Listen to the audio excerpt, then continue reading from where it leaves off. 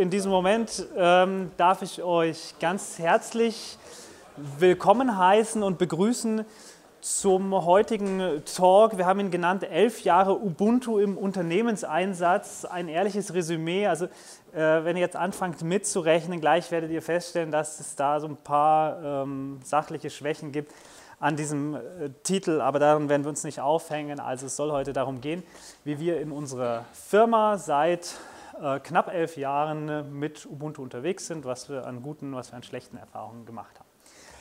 Mein Name ist Julius Mischok. Ich habe zusammen mit meinem Bruder Kajetan, der hier in der dritten Reihe sitzt, äh, vor elf Jahren die Mischok GmbH gegründet. Wir sind gestartet damals als Software-Dienstleistungsbetrieb und entwickeln uns jetzt ganz stark dahin, Digitalstrategien insbesondere für den Mittelstand zu entwickeln. Das kommt aus der Erkenntnis der letzten Jahre, dass es gar nicht unbedingt mit Software und Softwareentwicklung getan ist an vielen Stellen, ähm, sondern dass man, wenn man sinnvolle Prozessanpassungen umsetzen möchte in Unternehmen, man möchte also ein Value Stream Mapping machen, um Verbesserungspotenziale zu identifizieren, dann muss man erstmal anfangen und mit den Unternehmen rausarbeiten, so wo wollt ihr denn überhaupt hin? Was ist denn eure Strategie? Was ist eure Vision? Und auf dieser Grundlage kann man Veränderungen auch in der Organisation vornehmen, und da gehen wir hin, das Ganze mit einem sehr starken Wertschöpfungsaspekt. Also das muss sich natürlich lohnen. Die Zeit, wo wir einfach Software entwickeln konnten, um der Softwareentwicklung willen, die ist wohl vorbei. Ähm, das müssen wir jetzt ganz anders rechnen mittlerweile und da gehen wir sehr stark in die Wertschöpfung. Das ist der eine Ast. Und der andere Ast ist, dass wir vor drei Jahren angefangen haben, einen Bildungsträger zu gründen, oder wir sind Bildungsträger. Ähm, mit der Mischok Academy bieten wir Umschulungsmaßnahmen an im Bereich der IHK-Abschlüsse, Fachinformatiker für Anwendungsentwicklung, Systemintegration und machen alles, was ähm, flankierend hilft, diese Ausbildungs- oder Umschulungsberufe dann zu erlernen. Ähm, ich selbst beschäftige mich seit 20 Jahren mit Softwareentwicklung und bin ganz gerne, so wie heute, auch unterwegs und gebe dieses Wissen und die Erfahrung weiter.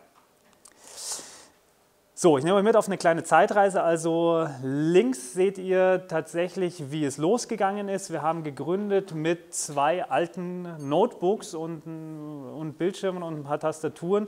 Und das war's und haben also in unserem damaligen Arbeitszimmer eine Ecke, wir haben sie noch nicht mal freigeräumt, wie ihr seht, sondern wir haben einfach die Rechner aufgestellt und losgelegt im Jahr 2013. Ähm, jetzt mittlerweile sieht es etwas luftiger und aufgeräumter aus. Also ich glaube auch, aufgrund dieser Erfahrungen, die wir da hatten in diesem Hinterhofbüro, kann man fast sagen, ähm, verfolgen wir jetzt eine sehr klare Clean Desk-Strategie. Das heißt, äh, wir achten auf ein aufgeräumtes Arbeitsumfeld. Ähm, auf der rechten Seite seht ihr ein Bild unserer Konferenz, die wir letzten Jahres bei uns hatten, wo es um wirklich Zukunftsthemen für Unternehmen ging. Wir machen eine Zeitreise und wir starten im Jahr 2013. Ich habe gesagt, wir wollten ein Unternehmen gründen. Das war eine Entscheidung, die wir getroffen haben. Wir haben vorher schon zusammen gearbeitet, Kaitan und ich, äh, und wollten, wussten, in welche Richtung das gehen soll. Und dann ist natürlich die Frage, naja, was, was macht man dann am einfachsten? Ja, okay, wir haben in dem Moment, ich glaube, es war Windows XP noch, gell? Also äh, Windows XP, also irgendein Windows-Betriebssystem, was auf diesen alten Kisten schon drauf war. Ja, das war irgendwie der Weg des geringsten Widerstands, das kannten wir und damit haben wir losgelegt. Und der Vorteil dieses unaufgeräumten kleinen Büros damals war äh, die wunderschöne Lage. Das heißt, wir waren ganz oft hier zum äh, Pause machen, mittags oder nachmittags. Weiß jemand, was es ist? Wo sind die Augsburger? Lokalpatrioten? Ja, bitte. Das ist der Hofgarten. Ähm, da gibt es also, das ist ein wunderschön gepflegter Garten mit so ein paar Grünflächen und so weiter und so fort. Und es gibt noch was Besonderes in dem Hofgarten. Ich habe leider kein Foto gefunden. Weiß es jemand? Ein Standort. Es gibt einen offenen Bücherschrank. Und eines Tages ähm, guckten wir so durch nach unserer Pause und äh, haben original, also ich habe das noch aufgetrieben, es ist original dieses Buch. Wir haben das Buch mitgenommen und kein anderes reingelegt. Ähm, aber äh, unterm Strich finde ich das trotzdem gerechtfertigt, weil wir mit diesem Buch ähm, uns mal damit auseinandergesetzt haben oder angefangen haben uns damit auseinanderzusetzen, was nutzen wir denn für Software? Was nutzen wir dann auch auf unseren Windows-Kisten gerade an Software? Und wir stellten irgendwie nach dieser Auseinandersetzung fest, naja, ähm, wir nutzen eigentlich ganz viel von dem, was auf diesem Ubuntu 10.10, da ist richtig eine DVD-ROM, glaube ich, drin gewesen. Ich weiß nicht, ob wir das Original noch haben. Also sie ist nicht mehr drinnen. Doch, die ist noch drin. Ja, also es gibt hier ähm, diese, diese Original-DVD. Äh, ich weiß nicht, die Älteren erinnern sich ähm, an die Zeiten. Ähm, und wir stellten halt fest, als wir das ausprobiert haben, das war ja ganz neu damals, also ich konnte diese DVD reinlegen und ich konnte von der DVD booten, ähm, so, das, das kam ein paar Jahre vorher. Äh, und dann stellten wir halt fest, naja, wir nutzen gerade eigentlich unter Windows einen Großteil oder fast ausschließlich diese Programme, die, die hier vorinstalliert sind. Und warum sollten wir dann nicht ähm, diesem Betriebssystem Ubuntu an der Stelle eine Chance geben? Und so sind wir im Jahr 2014 äh, in aller Unbedarftheit, muss man sagen, weil keiner von uns wirklich Erfahrung hatte äh, in, dem, in dem Bereich. Also wir kamen aus der Windows-Welt, sind wir da reingestartet, gestolpert, also mit so äh, Themen, dass wir uns vorher noch nie über Long-Term-Support-Versionen Gedanken gemacht hatten und so weiter und so fort. Dann haben wir erstmal die 10.10er-Version da installiert und festgestellt, das war jetzt nicht so eine gute Idee, sind dann aber relativ schnell, glaube ich, wir, wir starteten, also das muss ziemlich genau vor zehn Jahren gewesen sein. Ähm, wir starteten, glaube ich, gerade noch mit 12.4 und sind dann relativ schnell auf die 14.4 gesprungen und jetzt, zehn Jahre später, ziehen wir ganz ehrlich und ganz offen ein Resümee gemeinsam mit euch. Diese Schreibweise gibt es nicht. Ähm, ich habe es nochmal noch nachgeguckt. Der Vigil, unser dritter Bruder, der hat den Talk eingereicht. Ich muss nachher nochmal mit ihm sprechen. Diese Schreibweise von Resümee gibt es nicht. Im Deutschen muss man es mit Ü schreiben. Das äh, finde ich Wahnsinn. Ohne Akzent sieht es auch nicht schön aus. Nur ähm, bitte beruft euch nicht auf uns. So, haben wir was gelernt. Okay, wir fangen mit den unangenehmsten Dingen an. Zehn Jahre Ubuntu im Unternehmenseinsatz. Was lief damals schlecht? Was läuft bis heute schlecht? Wir hätten eigentlich so ein Voting machen sollen, vielleicht, so was, was ihr tippt. Äh, ja, kommt gleich. Ja, ich glaube, ich habe sogar beim, ich habe es glaube ich sogar beim, was sich verbessert hat. Also ein, ähm, ein Thema ist der Passwortmanager, der immer noch empfohlen wird, ist, ist KeyPass beziehungsweise so diese, diese Familie drumherum. Wir haben damals eine Entscheidung getroffen dass wir gesagt haben, wir möchten Passwörter erstmal nicht über Netzwerk laufen lassen. Das hat einfach das, äh, den Vorteil, dass ich dann freier bin und nicht groß unterscheiden muss, welche Wichtigkeit hat ein Passwort. Ist es also ein Admin-Passwort, wo ich alles lahmlegen kann oder sonst was, sondern wir haben lokal Passwortfile, wir haben einen Passwortmanager und es gibt den wir nennen ihn den Knochen. Also das ist ein 32 MB USB-Stick original gewesen, also wirklich so in der Größe dieses Presenters hier, wie man ihn damals hatte in den 90er und 0er Jahren. Mittlerweile ist dann der Original-Stick da drin kaputt gegangen und jemand hatte also in liebevoller Kleinarbeit einen aktuelleren Stick mit mehreren Gigabyte in dieses Knochengehäuse rein. Äh, das nutzen wir, das funktioniert auch. Wir haben mittlerweile noch einen sicheren Weg, Passwörter auszutauschen über YoPass. Ähm, das funktioniert soweit auch. Ansonsten sind wir eigentlich soweit mit dieser Lösung stabil, weil wir wissen, wo die Passwörter liegen. Das ist so, dass die Leute regelmäßig synchronisieren. Der Austausch funktioniert relativ gut. Aber KeyPass bzw. KeyPass 2, äh, das ist letztendlich äh, das ist eine Mono-Anwendung. Ja, also das ist eigentlich eine .NET-Anwendung, die halt, ähm, die halt auf äh, meinem Ubuntu läuft und das ist jetzt von der Usability so mittel. Also es funktioniert, ähm, aber wir gucken da alle, alle zwei Jahre mal nach, äh, ob es ein Update gibt, ob irgendjemand sich erbarmt hat und eine andere Lösung gebaut hat äh, und bis dahin leben wir mit diesem Offline-Passwortmanager.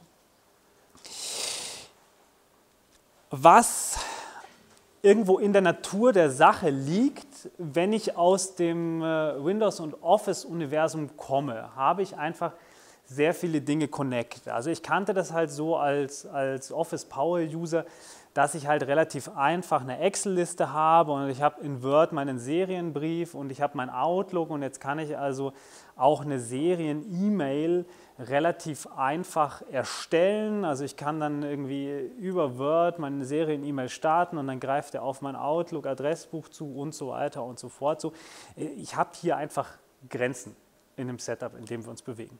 So, wir haben uns entschieden für, oder wir nutzen Thunderbird für die E-Mail-Kommunikation. Wir haben sowas wie, wie Adressen ähm, in der Nextcloud-Instanz, synchronisieren das rein in den Thunderbird. Äh, und dann habe ich aber halt mit LibreOffice noch eine weitere Partei. Das heißt, ich, ich habe einfach aufgrund des Aufbaus so wie es gemacht ist, habe ich einfach mehr Grenzen dazwischen und ich habe einfach in Anführungsstrichen das, das Problem, dass ich ein paar Stufen gehen muss und ein paar Übergaben habe. Und jetzt ganz konkret auf dieses Beispiel sieht es halt so aus, dass ich mit LibreOffice ja erstmal so eine Datenbank erstellen muss und, ähm, und es einfach sich nicht so fluffig anfühlt, wie wenn ich das jetzt ähm, mit, meinem, mit meinem Office mache. So, das ist äh, ein Punkt, wo ich sage, im, im Arbeitsalltag, alles was jetzt administrativ ist, äh, haben wir da einfach haben wir gewisse Grenzen und da hat sich noch nicht so viel getan, leider. So, und was stabil schlecht läuft, ähm, diese Section ist glücklicherweise relativ kurz, kommt jetzt lange nichts. Da kommt wirklich ganz, ganz lange überhaupt nichts. Und dann kommt aber ein Punkt, der einfach äh, echt Schmerzen macht. Ähm, ich sehe diesen Tag als eine große Chance. Äh, vielleicht hat jemand eine bessere Lösung oder erzählt uns, warum unser Setup schlecht ist. Äh, aber ich nehme euch ganz kurz mit auf diese äh, schmerzliche Reise. Also, wir sind sehr stark insbesondere in dem, in dem Bereich, was früher Softwareentwicklung war, wo wir jetzt in den Beratungsbereich reingehen, sind wir natürlich sehr stark in Kundenkommunikation. Also wir, wir haben relativ viele Absprachen, es gehen Termine hin und her und so weiter und so fort. Unser Aufbau, wie gesagt, wir haben, ähm, wir haben Thunderbird, wir haben einen Kalender, der über, äh, über WebDRV letztendlich dann aus Nextcloud kommt. Und wir nutzen Thunderbird dann eben für E-Mails und auch für die Termineinladungen. So. Und unser Problem, zumindest in dem, wie wir es, äh, wie wir es aufgebaut haben, ist, dass wir regelmäßig und regelmäßig heißt ähm, ungefähr gefühlt zweimal im Jahr und das rechnet ihr jetzt mal auf zehn Jahre hoch, den Punkt haben, dass diese Thunderbird-Version mit der Plugin-Version, die installiert ist als Adapter gegen unseren ähm, Web, äh, äh, WebDRV-Kalender oder, oder äh, CalDAV ist ja das Protokoll dann, äh, was dagegen geht, dass die Versionen von Thunderbird und dem Plugin auseinanderlaufen. Und dann passieren da halt so Sachen, dass du Kunden zu einem Termin einlädst und die kriegen die Einladung nicht. Ja? Oder du nimmst noch jemanden auf den Termin raus und der Termin wird nicht, äh, wird nicht verschickt. Ähm, oder es werden einfach gar keine Einladungen mehr verschickt. Und das kriegst du halt in einer Organisation von 30 Personen, die wir mittlerweile sind, halt irgendwann mit, weil einer auf die Schnauze fliegt. Und dann gibt es halt so eine Mail, die dann rumgeht und wo du sagst, okay, ja, also es gibt gerade hier ein, äh, gibt ein kleines Problem mit unserem äh, Einladungsversand ihr müsst jetzt quasi in diesem Feld, wo ihr die Attendees eintragt, müsst ihr euch selbst erstmal rausnehmen und dann tragt ihr alle Attendees ein und drückt auf Speichern und dann funktioniert es so. Und das ist was, was einfach sehr schmerzhaft ist für ein Unternehmen, was professionell und, ähm, und auch mit einem gewissen Tempo und einer gewissen Schlagzahl dann äh, arbeiten möchte nach, äh, nach draußen. So, und das ist tatsächlich was, was uns megamäßig wehtut. Ich habe jetzt vorhin draußen schon gebeichtet. Ähm, in der letzten Runde hat es mich dann so genervt, dass ich, dass ich dachte, okay, weißt du was, scheiß drauf. Jetzt gehen wir irgendwie auf Office 365 im Browser und nutzen Outlook und bla bla bla. Ähm, und ich habe, also erstmal habe ich intern einige Leute überrascht damit ähm, und vielleicht auch etwas überrollt. Äh, und dann hat mich die Firma Microsoft, ja, ich will nicht sagen überrascht, aber doch in dem Moment wieder auf den Boden zurückgeholt. Also dann kam raus, dass sie Outlook-Passwörter unverschlüsselt wieder auf US-Servern gespeichert haben. Ähm, und seitdem leben wir wieder mit der, mit der Lösung, äh, die wir haben. Also äh, es ist ein ungelöstes Thema. So, wir gucken uns jetzt, wir gucken uns weitere Dinge an, ähm, aber vermutlich werden wir an der Stelle weggehen von der, von der Lösung mit dem lokal laufenden Thunderbird. Das funktioniert ansonsten top, ähm, haben da rein vom E-Mail-Versand keine Probleme, aber diese Integration, Adressbuch geht, ähm, gibt es jetzt keine größeren Probleme, aber diese, diese Thematik mit den Kalendereinträgen ist, ist eine, eine Katastrophe für uns. Also wenn jetzt jemand die Lösung für mich hat, ähm, gerne, wir haben Infostand direkt gegenüber von der Tür, bin offen für eure, für eure Vorschläge. Ja, bitte. Das, das Calendar Plugin oder die native Integration? Ähm, oh, bin ich jetzt gerade überfragt letztendlich? Muss, müsste ich gucken. Ja, ich habe den Rechner da, also du kannst gleich das im Anschluss gerne gucken. Ja, naja, das kriegen, also so ich, ich, ich klammer mich an jeden Strohhalm, äh, wenn, wenn du irgendwie was, was beizutragen hast. Äh, ja. Okay, was hat sich denn verschlechtert? Ähm, auch das war spannend für uns zu betrachten. Gab es denn irgendwas, wo wir gut gestartet sind vor 10, 11 Jahren, was irgendwo so ein bisschen im Bach runtergegangen ist? Ich nehme das jetzt pro forma mal mit drauf. So, also das ist natürlich nicht deren primäres Ziel, äh, Microsoft Teams auf ähm, Ubuntu stabil laufend zu haben. Es gab durchaus aber mal im, äh, ähm, zu Anfang gerade der, der Corona-Pandemie gab es eine Zeit, wo dieser Standalone-Client irgendwie funktionierte und man damit arbeiten konnte. Äh, das ist aktuell nicht mehr der Fall. Also ich glaube, wir nutzen alle ähm, Teams im Browser und ich weiß nicht, wer von, wer von euch Teams nutzt, nutzen muss. Ja, so, okay, ein paar Hände. Habt ihr mehrere Accounts? Ja, okay, also dann wisst ihr, was jetzt kommt. So, also das ist kein Spaß. Ja? Und ähm, also Problem ist für alle, die das nicht kennen, wir haben halt für verschiedene Kunden verschiedene Accounts, so, weil, weil es äh, unterschiedliche Teams gibt. So, das, äh, der Gipfel ist dann, dass ich irgendwann mal für jeden Kunden einen eigenen Browser hatte. Also ich habe vier Browser laufen und bin halt in einem unserer internen äh, Teams für unsere Academy, dazu sage ich noch was, warum wir da Teams nutzen. Dann habe ich einmal für den Kunden A ähm, habe ich Chromium und für den nächsten weiß ich Chrome und hier habe ich den Firefox und ich muss halt immer wissen, also wenn dann einer schreibt, dann muss ich sagen, ah ja, stimmt, Firefox. So, und dann gehe ich in Firefox und bin dann Teams angemeldet, weil dieses Ummelden von Teams, also wenn ich da einmal angemeldet bin, ähm, sich da abzumelden im Browser ist spannend. Ja, und sich dann mit einem anderen Account anzumelden, weil der irgendwo, ich weiß nicht, ob das lokal ist oder bei denen, also irgendwo bleibt da eine Anmeldeinformation hängen und manchmal ist es unmöglich. Ja. Wir hatten einen Kollegen, der hat sich dann bis zum Microsoft-Support da durchgekämpft, weil irgendwie seine Microsoft-Accounts falsch verdrahtet waren. Und der war in irgendeinem in irgendeinem Kreis, den er nicht mehr aufgelöst bekommen. Also der kam in so einen Redirect Circle äh, in der Teams-Anmeldung und kam einfach aus eigener Kraft nicht mehr raus. Oder das hat der Microsoft Support dann äh, geglättet. Also das ist kein Spaß. So, das war mal besser, ähm, ist kein Spaß. So, jetzt ist es natürlich unternehmensstrategisch. Also ich glaube, der Firma Microsoft kam die Corona-Pandemie insofern halt ähm, so ganz gelegen, weil sie mit Teams ein Produkt hatten, wo sie sich jetzt auch manifestiert haben in Schulen, in Verwaltung, in vielen Firmen, wo sie jetzt so schnell nicht mehr zu verdrängen sind. So, das ist jetzt einfach so. Wir haben ein bisschen bei Ubuntu profitiert, glaube ich, an der Stelle, dass ähm, der End of Life von Windows XP war und deshalb Ubuntu eine gewisse Popularität hatte und auch ein Entwicklungstempo, was dann für uns sinnvoll war. So, so ist es im Leben. Also das kann man nicht sehen und ich würde jetzt der Firma Microsoft nicht äh, unterstellen, dass sie an der Corona-Pandemie direkt beteiligt waren, aber so, sie waren halt zum richtigen Zeitpunkt an der richtigen Stelle.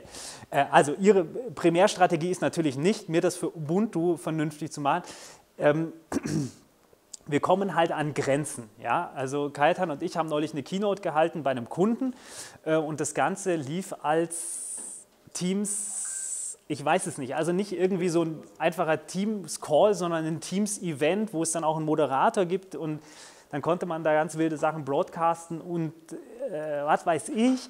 Letztendlich, es ging nicht. Ja, es ging einfach nicht und wir haben dann ähm, 20 Minuten vor Veranstaltungsbeginn unseren Kram auf den Stick gepackt und unsere Accounts da noch rübergezogen und haben das vom Windows-Rechner aus gemacht. Äh, wir haben es nicht hinbekommen, also das kein Spaß. Wenn ihr darauf angewiesen seid, ähm, ja, macht euch auf was gefasst. Okay, aber damit haben wir diese Section, was sich verschlechtert hat und was stabil schlecht läuft, auch schon äh, abgeschlossen. So, ich habe gestern noch mal eine Umfrage im Team gemacht und es war beeindruckend, wie wenig wirklich sehr kritische Stimmen da, da kamen. Vielleicht haben sich nur die, die sich mit Ubuntu wohlfühlen, gemeldet. Das kann ich jetzt nicht sagen, ist nicht ganz repräsentativ. Äh, aber äh, wirklich mehr ist uns in der Vorbereitung auch nicht aufgefallen. Jetzt gab es Dinge, die schlecht gelaufen sind. Jetzt kommt gleich dein Scanner ähm, die schlecht gelaufen sind, die sich aber glücklicherweise verbessert haben. Also, wir haben einmal LibreOffice. Aus meiner Sicht ist es auf einem Niveau, jetzt mal abgesehen von dem Serienbrief und auch Seriendruck, finde ich ein bisschen hakelig, aber das, was wir machen, das, was ich mache, zum Beispiel hier so ein paar Slides zusammenschieben, ähm, Rechnungen auszustellen, äh, mal ein Dokument, einen Bericht für einen Kunden zu machen, ist es ein stabiles Ding und ich persönlich, der ich sowohl mit Adobe InDesign auch schon größere Dinge gesetzt habe. Ähm, ich habe das mit Inkscape schon gemacht. Ich ähm, habe mit LaTeX gearbeitet. So, ich glaube, wenn man ein bisschen versteht, wie Schriftsatz früher, als es wirklich physisch war, funktioniert hat, ähm, dann kommt man mit LibreOffice auch besser hin als mit Word. Also es gibt ja diese wunderschönen Memes so nach dem Motto hier, also Bachelorarbeit ist fertig und dann habe ich auf Seite 27 noch ein Bild eingefügt und mein Dokument ist am Ende. Das habe ich hier nicht erlebt. So, es schleift an anderen Ecken vielleicht mal, ähm, aber LibreOffice ist aus meiner Sicht was, was sich einfach stabilisiert hat. Und wenn man jetzt nicht irgendwie in der, in der Masse, also wirklich diesen Seriendruck oder äh, super aufwendige Themen da zu tun hat für den Bereich, den wir da tun, verwaltungsmäßig, da hin und wieder was, was rauszuhauen, ein paar Dokumente, funktioniert es stabil und stabiler. Ähm, witzige Geschichte, wenn ihr, ich habe die Slides hochgeladen, wenn es euch noch interessiert, ähm, ihr werdet da keine Emojis finden. Auch das ist so ein Punkt, wenn mir das einer erklären kann. Also mir ist irgendwo klar, eingebettete Schriftarten in PDF und, und bla bla bla, aber wir haben es auch mit etwas mehr Anstrengung bis dato nicht hinbekommen, den dazu zu bringen, wenn er diese, diese Impress-Folien exportiert, dass die Emojis drinnen sind. Also auch, auch da, wer Bock hat, nachher am Stand gerne gucken. Also wundert euch nicht, dass sie so ein bisschen seltsam aussehen. Ja, hier sind die so fresh und hin und wieder ein Zwinker, Smiley, aber im Export halt nicht.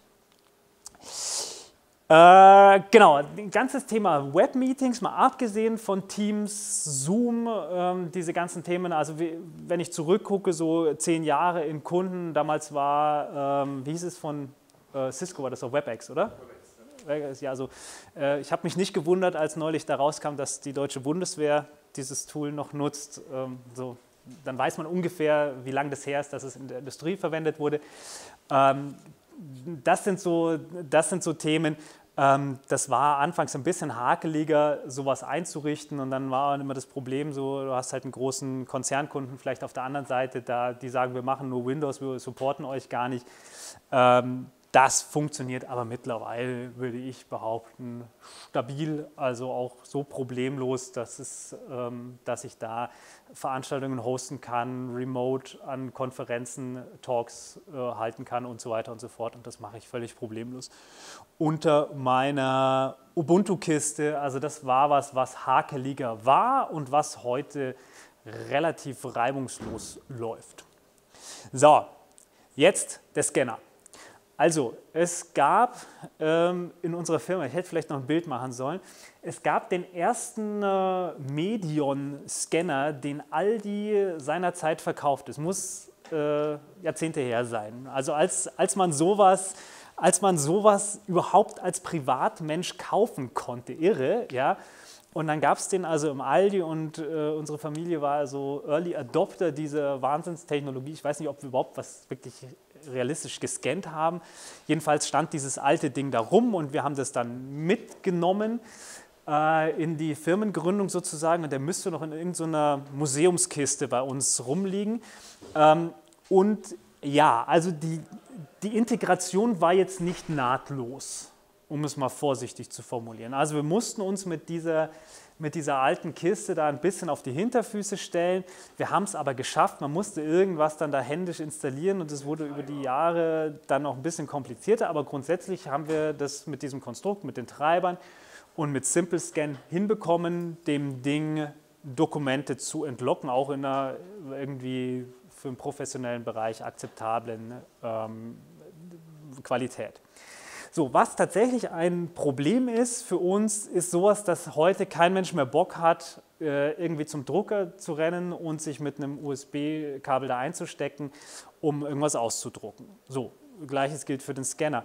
Und das ist tatsächlich nach wie vor ein Thema, das verbessert sich langsam. Es ist noch nicht ganz perfekt. Äh, ja? Also wir haben im Büro so ein Brother Multifunktionsgerät und ich brauche einfach überhaupt nichts tun. Also ich starte meine Scan-App, ja? der Scanner erscheint automatisch und ich kann einscannen. Genau, genau. Und jetzt hast du aber gesagt, ihr habt irgendeinen Brother und das ist nämlich genau der Punkt. Man muss ein bisschen drauf gucken, dass, die, dass es den Support da gibt. Also und das Problem ist, dass die meiner Einschätzung nach sehr stark halt eingeschossen sind auf den Markt. Also du findest immer sehr gut, welche Windows-Version das unterstützt. Du findest nur einigermaßen, was es vom Mac unterstützt. Und dann ist es manchmal Glückssache. Viel mehr Hardware funktioniert, funktioniert auch sehr gut, aber wenn du jetzt irgendjemand hinsetzt und sagst, ihr kauft mal einen neuen Drucker oder einen neuen Scanner, ist es halt manchmal ein bisschen Glücksspiel. Ähm, aber wie du sagst, ja, wir haben eben auch, ich glaube, wir haben sogar auch ein Brother-Ding ähm, mit, äh, mit Einzelblatteinzug und was weiß ich. Und das schnurrt eigentlich. Ja, also das war, das war ein Riesenkampf. Wir haben auch ein bisschen Hardware gehabt, die, wo, wo es einfach nicht richtig funktioniert hat ähm, wo man dann so Zwischenlösungen finden musste. Aber mittlerweile, wie gesagt, deshalb in der Section, was sich verbessert hat, ähm, das funktioniert. Man muss halt ein bisschen, muss ein bisschen gucken und ähm, so Banalitäten wie hier dieses äh, dieser Presenter, so letztendlich, der macht ja nichts anderes, als sich als Tastatur hier zu, zu installieren. Also das ist halt eine Tastatur mit irgendwie, weiß ich nicht, vier, fünf, äh, vier, fünf Tasten.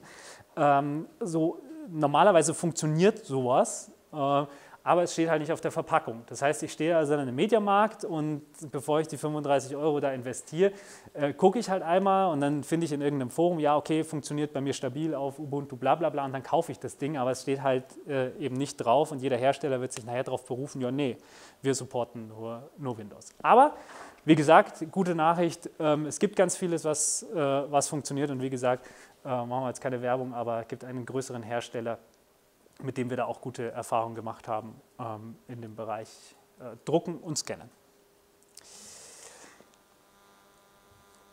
Da haben wir noch so ein Thema, da gab es so, das, das wäre jetzt so eine, so eine Wellenbewegung. Also als wir einstiegen, war das Thema, mehrere Displays zu unterstützen, so dass es sehr gut funktionierte. Und dann gab es, ähm, da bin ich jetzt leider nicht tief genug in der Materie drinnen, aber es gab irgendwann mal einen Teil, wo das dann, äh, wo gewisse Teile in der Software neu gemacht wurden. So, und das haben wir gemerkt, oder bei den Treibern ähm, neu gemacht wurden. Und das haben wir zu spüren bekommen. Und das ist was, was sich jetzt über die Jahre insofern verbessert hat. Also ich habe ein Setup bei mir am Arbeitsplatz, dass ich einen meiner Bildschirme hochkant habe, weil ich das sowas für Messenger, Slack oder sowas, oder wenn ich ein Dokument lese, was halt A4 Hochformat ist, dann habe ich das lieber auf einem Screen, der hochkant ist und dann habe ich einen, der im äh, Landscape ist und mein, mein Notebook und das Ding funktioniert bei mir jetzt problemlos. Das war aber nicht immer so. Also wir haben wirklich Probleme gehabt von Bildschirme fielen einfach aus. Auf einmal können wir nur noch zwei Bildschirme ansteuern. So, das muss so boah, sechs, sieben Jahre her sein, würde ich behaupten. Da gab es echt mal so ein, so, ein, so ein richtiges Tal. Und dass er sich das Setup nicht gemerkt hat und man jeden Ja. Morgen Bildschirme neu einrichten musste. Ja. Das war auch lange Strecke. Genau, aber das funktioniert. Stand heute super robust und jetzt hatte ein Kollege gestern sogar geschrieben, so er ist der Meinung, dass es aktuell am besten von allen Betriebssystemen läuft. Also er ist sogar der Meinung, dass es einfacher und schneller geht, ähm, als das mit, äh, mit Windows einzurichten. Wie gesagt, ich habe auch überhaupt keine, äh, überhaupt keine Probleme mehr damit seit einiger Zeit. So, und jetzt verlassen wir für die letzten zehn Minuten äh, den Bereich der Probleme und jetzt äh, baden wir ein bisschen in dem, was tatsächlich gut läuft. Ich denke, ihr habt, äh, hättet alle noch einiges zu berichten, deshalb seid ihr hier. Ähm, und wir fokussieren uns mal so ein bisschen auf die Dinge, die, die für uns wirklich jetzt relevant sind und wo ich jetzt guten Gewissens sagen kann, wenn du diese Herausforderungen bei dir hast, dann äh, kannst du in jedem Fall Ubuntu nutzen. Wir kommen ganz ursprünglich aus der Softwareentwicklung und ich bin nach wie vor der Meinung, dass es, äh, dass es Sinn macht oder dass Ubuntu ein hervorragendes Betriebssystem ist, um Software zu entwickeln, auch professionell zu entwickeln. Es gab ja irgendwie vor Jahrzehnten so ein bisschen dieses Ding, ähm, naja, du, also wenn du, wenn du programmierst, musst du eigentlich, musst du Linux verwenden. So, da da ging es dann um Compiler und, äh, und drumherum, Bildtools etc. pp. Das ist so ein bisschen zusammengelaufen und vor, ich würde sagen, vielleicht 15 Jahren oder sowas, äh, ist es tatsächlich so gewesen, dass das in vielen Punkten aus meiner Sicht auch Windows aufgeholt hat und es gab so auch gut so zu dem Zeitpunkt, wo wir gegründet haben, so Anfang, Mitte der 10er Jahre durchaus auch die Aussagen, dass Leute gesagt haben, nee, Windows ist absolut äquivalent. Also für wirklich Softwareentwicklung ähm, kannst, du, äh, kannst du genauso Windows verwenden. So, und ich hätte das jetzt rein so von der Compile-Zeit zum Beispiel und von den Tools, die es gibt, hätte ich das zeitweise vielleicht auch unterschrieben. So, weil ich auch gemerkt habe, es gibt Leute, die sind auf, auf Windows unterwegs und die machen auch gute Software und die kommen da gut hin. Und dann hatten wir ein Projekt und das war höchst spannend. Wir haben eine Codebase, das ist, ohne jetzt zu tief ins Detail gehen zu wollen, das ist eine relativ alte Java 8 Anwendung. Und ich habe ähm, den ganzen Code, das, den Projektbild mit Maven ähm, und so ein bisschen Arndt noch dahinter und ein bisschen komplizierter, ähm, den kann ich entweder auf, äh, auf Windows oder auf, äh, auf Ubuntu ausführen. So, wir haben das halt, weil wir einen Anwendungsteil auf Ubuntu entwickeln wollten in Containern, äh, haben wir uns das Ganze, was, äh, was man halt auf Windows von Hand zusammenstecken muss, lokale Installation, haben wir da uns in Containern gebaut. Und dann haben wir irgendwann mal, weil, weil wir so das unbestimmte Gefühl hatten, das geht irgendwie auf Ubuntu immer fluffiger, äh, haben wir uns mal die Bildzeiten angeguckt und haben festgestellt, dass wenn wir das gleiche machen, links und rechts, das Original, unser Ubuntu, in 35 Sekunden durch ist, das Ding zu compilen, zu packen, auszuliefern in den Container. Und auf der Windows-Seite allein dieser Schritt, dieses Bauen und Packen, Minute 45 Sekunden gebraucht hat. Und das ist jetzt nichts, was mir so krass auffällt im ersten Moment.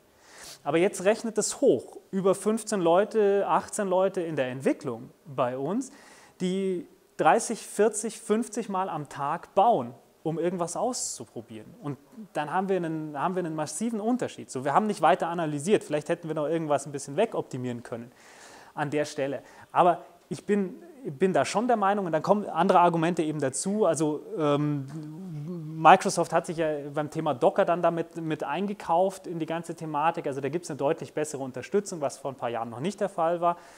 Aber wirklich alles, was ich skripten kann, auch äh, so eine, so eine Docker-Umgebung aufzubauen, so, das geht einfach super entspannt unter Ubuntu und ich würde es nicht missen wollen. Und das ist auch das, was die Kollegen halt zurückmelden, dass sie sagen, so, ähm, wenn überhaupt Windows, dann, ähm, dann aktivieren sie sich PowerShell und versuchen da halt irgendwie so nah wie möglich an, äh, ein Linux-Erlebnis dran zu kommen. Ähm, so, äh, aber ansonsten sind die alle happy, wenn sie, vor einem, wenn sie vor einem Ubuntu sitzen, einfach was die Automatisierungen angeht, was die Einfachkeit äh, des Installieren und Zusammenbasteln von Tools angeht.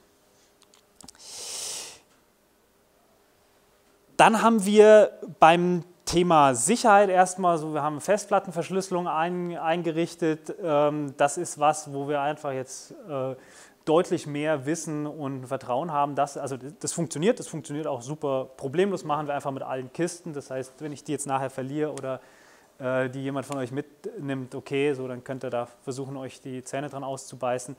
Ähm, wir sind aber sehr sicher, dass das, dass das gut ist und stabil funktioniert, was wir da tun. Ähm, und ich bin mir da deutlich sicherer als bei dem, was ich jetzt von Microsoft da bekomme. Also da wird natürlich auch verschlüsselt, aber ähm, da, da habe ich nicht so den Grip da drauf. Das ist was, wo, ich, wo wir meines Wissens keine Probleme hatten damit, oder? Haben wir, haben wir eingeführt ähm, und hat, hat grundsätzlich von Anfang an auch immer guten den Passwörtern, weil ja. Ja, naja, wir hatten einen Kollegen, der halt mit Neo-Tastatur-Layout arbeitet. Ähm, und äh, als, als wir da mal ran mussten, dann administrativ an den Rechner, weil der einen Wechsel hatte und dann musste jemand versuchen, diesen Rechner also sich mal anzumelden und um den zurücksetzen zu können. Ähm, und dann hast du ein Passwort und dann haben wir irgendwie, äh, dann, dann gab es irgendwie das, das normale deutsche Layout, ähm, englisches Layout und Neo und wir wussten aber nicht, was jetzt für die Festplattenverschlüsselung gerade greift. Das heißt, wir wussten, wie das Admin-Passwort sein sollte und dann haben wir also quasi dieses Admin-Passwort noch übersetzt auf Neo und auf englisches Layout und so weiter. Das war ein längerer Abend, bis wir da, bis wir da rankamen, aber das war jetzt eher, wie man so schön sagt, technisch-organisatorische Maßnahme. Äh, letzten Endes, wie gesagt, auf der, auf der Ebene der Festplattenverschlüsselung tut es alles so, wie es soll. Jo, und dann mein persönliches Highlight, weil ich ja, wie gesagt, hin und wieder auf solchen Veranstaltungen wie hier unterwegs bin. Und ich bin super entspannt. Äh, und ich bin mittlerweile so, wenn ich eine Viertelstunde vor meinem Talk hier die Kiste aufstellen würde und dann poppt mein, äh, meine Ubuntu-Meldung auf, sagt hier Update, kannst, kannst du mal dein Betriebssystem updaten, ich würde es tun. Ja? Mit Windows nie im Leben. Ja? Also dann würde ich zwei Tage vorher versuchen, die Kiste nicht mehr auszuschalten oder sonst was. Ähm, aber da hätte ich einfach zu viel Angst, dass die genau in dem Moment, fünf Minuten vor meinem Talk, sagt, so und jetzt installiere ich Updates, bitte schalten Sie das Gerät nicht aus. Hochfährt, runterfährt, wieder hochfährt und so weiter. Nie gehabt. Das Einzige, was mal ist, es verklemmt sich irgendwo eine Kernel-Version. Okay, so dann muss ich den halt, muss ich halt mit dem älteren Kernel äh, booten, schmeiß den runter, installiere den neu oder ich warte ein paar Tage, bis, äh, bis der Fix kommt und dann läuft es. Aber da haben wir wirklich, ich würde behaupten, wir hätten mit Windows in der Fläche mehr Probleme gehabt, als wir jetzt hier mit Ubuntu hatten auf den letzten Jahren. Und wir haben nicht nur Leute, die technisch versiert sind. Wir haben Leute, die kommen von außen, die kommen wirklich für die Verwaltung, die kommen aus dem Gesundheitswesen oder so, wo ich immer so ein bisschen zucke und da jetzt gucken wir mal, wenn die hochfahren und da ist Ubuntu. Aber das funktioniert problemlos. So, wir haben ein paar Leute, die sich gut auskennen, wirklich für die harten Fälle, aber den Rest kriegen die eigentlich selbst administriert ähm, und wie gesagt, wenn halt der Kernel nicht, äh, nicht bootet, so, dann, dann holt man jemanden dazu. Das ist aber wirklich eigentlich eine Sache von zehn Minuten, um das zu fixen. Ähm, und gleiches gilt für die, für die Programme, äh, die, wir, die wir installiert haben. Es wird automatisch aktualisiert, so, also hm, jetzt habe ich vorhin bei Thunderbird geschimpft, äh, aber letztendlich ist es ja super gut, ja, dass ich mich nicht kümmern muss, dass ich nicht irgendwie tausend Pop-ups bekomme. Also da kriege ich immer einen Anfall, weil ich halt diesen Windows-Rechner, den ich fürs Kundenprojekt brauche, auch nur alle drei oder vier Monate einschalte und ich werde erschlagen von irgendwelchen Pop-ups, weil irgendwelche Programme irgendwelche Updates da ähm, einspielen wollen. Äh, das läuft wirklich smooth, läuft im Hintergrund und läuft so, dass, äh, dass wir uns da einfach gut drauf verlassen können. Das waren Dinge, die wirklich richtig gut laufen und weswegen ähm, wir auch ähm, da sagen würden, ich glaube, hat sich, hat sich gelohnt zu gehen. So, jetzt ähm, 2021 habe ich gesagt, wir haben uns wegentwickelt von einem reinen Software-Dienstleistungsbetrieb, haben eine Schule gegründet letzten Endes.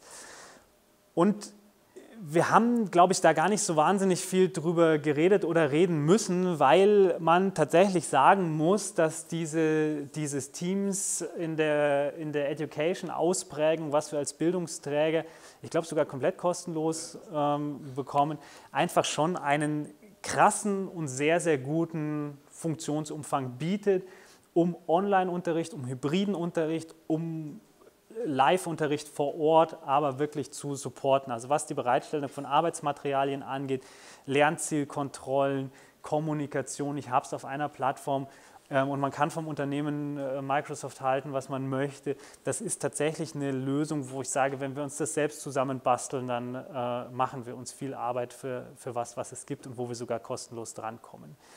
Äh, unsere Umzuschulenden bekommen Ubuntu-Rechner. Ähm, das machen wir auch ganz einfach aus dem Grund, weil die mit halb so viel Hardware auskommen. Also wir müssten vermutlich überall doppelt so viel Speicher reinstecken, wenn wir dann Windows drauf laufen lassen wollen. Und wir sagen, ihr seid ITler, ihr wollt ITler werden, auch für den Bereich Systemintegration müsst ihr jetzt klarkommen damit.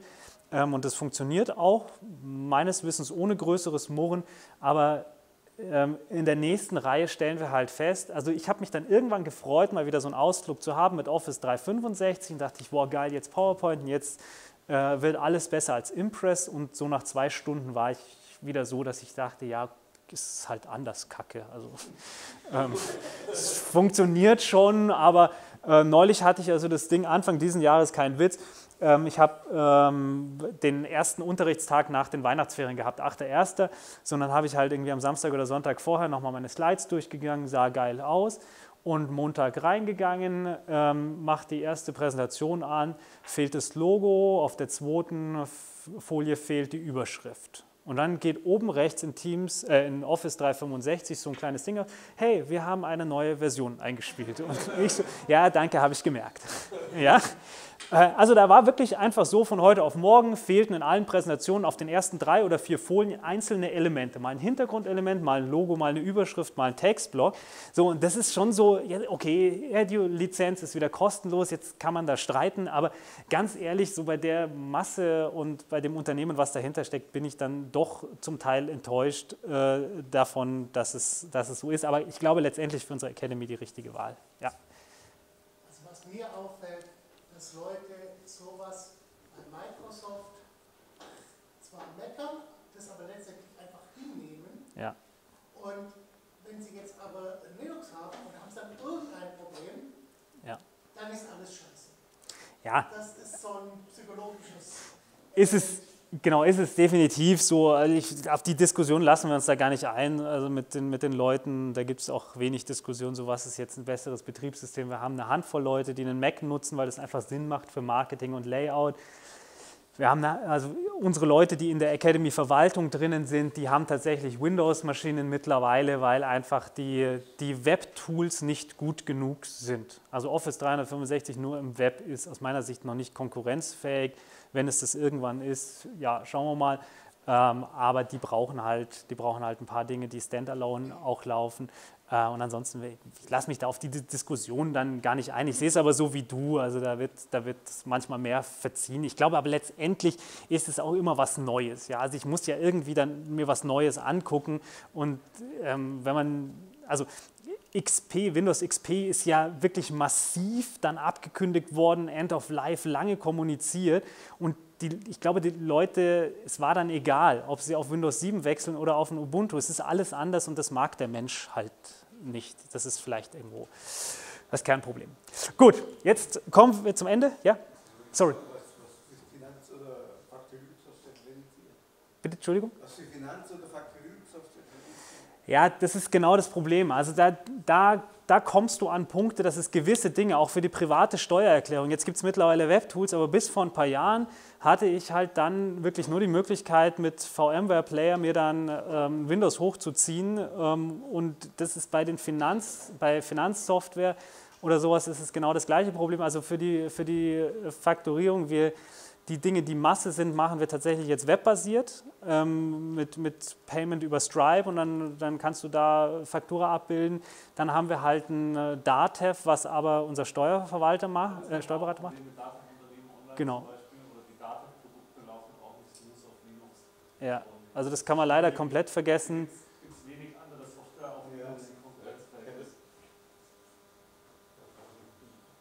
Ja, also da, gibt es gewisse Grenzen. Es wird immer weniger, weil immer mehr webbasiert wird, aber es gibt halt gewisse Dinge, die gibt es dann einfach nicht. Ja. Oder du musst halt wieder irgendwie sowas haben, dass es die eine Windows-Kiste gibt in der Ecke, wo man weiß, okay, da muss man halt einmal im Monat Datev-Belege hochladen. Das ist aber auch nicht schön. Genau, ja, abschließend die Frage, würden wir es wieder tun? Ähm, ja, es ist halt im Rückblick so ein bisschen äh, müßig zu betrachten, weil natürlich historische Veränderungen da auch kamen, muss man, glaube ich, einfach so berücksichtigen. Aber ich glaube, unterm Strich würde ich es tun. Ich würde es auch jedem empfehlen. Ich würde es empfehlen mit einer gewissen Flexibilität. Und das große Aber, was aber darunter steht, ist eben genau, äh, wir haben in diesen zehn Jahren natürlich eine starke Bewegung gesehen hin zu webbasierten Tools. Das heißt, aus meiner Sicht, jedes jedes Unternehmen, jede Herausforderung, wo ich sage, ich möchte ein stabiles, ressourcenschonendes, schnelles, sicheres Betriebssystem, wo im Wesentlichen ein leistungsfähiger Browser drauf laufen kann, würde ich sofort sagen, nimm Ubuntu für Verwaltung, für, für was weiß ich. Tu es einfach, weil du, weil du weniger Trouble hast und das ist definitiv zumutbar, auch wenn man keinen technischen Hintergrund hat. Ähm, wie sich das jetzt entwickelt hätte, wenn der Trend eher dazu gegangen wäre, dass es mehr lokal installierte Software gibt, ich, ich kann es nicht sagen. Und wie gesagt, wir kommen immer wieder an, ähm, an Punkte, wo wir halt feststellen, das gibt es einfach nicht. Ähm, Gerade auch so staatliche Stellen oder sowas, wenn es da an die Grenze geht, da wird es halt unschön. Ich habe ganz entzückt festgestellt, dass es eine hervorragende DJing-Software gibt. Also da, das, da hatte ich gar nicht mit gerechnet. Ähm, da gibt es aber, wer da in der Ecke Affinität hat, mit Mix, Doppel X geschrieben, gibt es ein super, dreifach X, ja?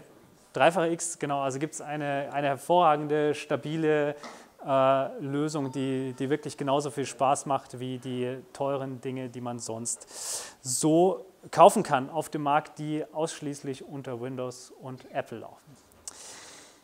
Das als unser Resümee. Ich freue mich auf euer Feedback, eure Anmerkungen äh, gerne persönlich. Wie gesagt, wenn jemand äh, unsere offenen Probleme lösen kann, dann, äh, ähm, äh, dann findest du in der nächsten Präsentation dann auch Erwähnungen oder äh, wie auch immer, wir finden einen Weg, uns erkenntlich zu zeigen.